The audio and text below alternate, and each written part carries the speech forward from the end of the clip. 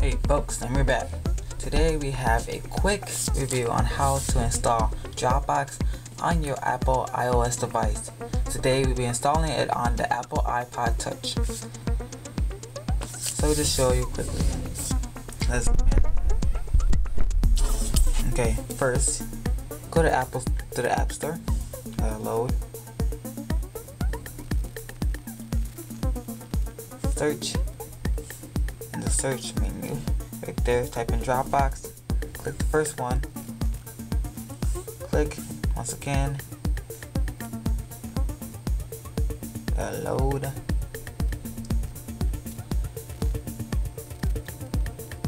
And then click install. Actually click free, then install. But since we haven't installed, we just go back to our home screen. Over one, and right there, should be right there, Dropbox. Alright, it on. It says, Welcome to Dropbox. You have two options at the bottom. You have one, I'm already a Dropbox user, and two, I'm new to Dropbox. If you do not have an account with Dropbox, you may click the second one. If you do, click the first one. We do, so we click the first one. Okay. Now enter your personal information, so you email your password, then log in. So we do this off site.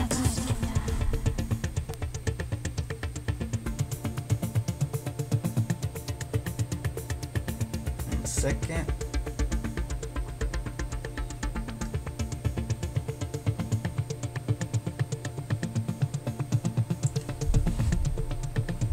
So click done and then you should be to the screen. Intro to Dropbox. So it says the Dropbox app.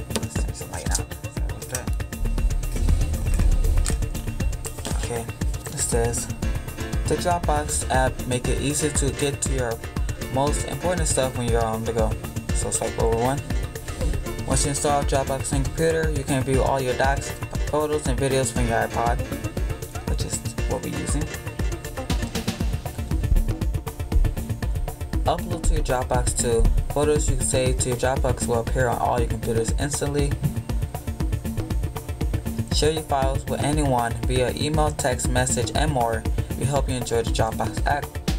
At the top, it says done, so click done. And let it load.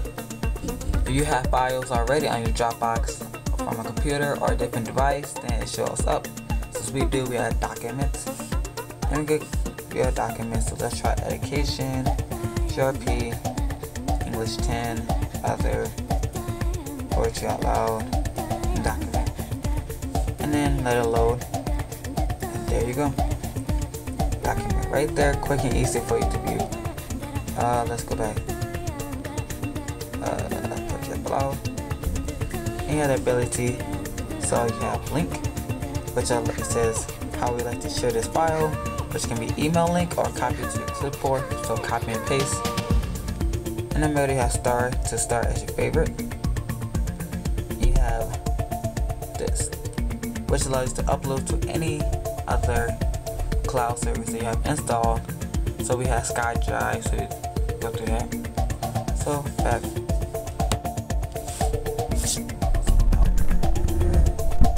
So back, back.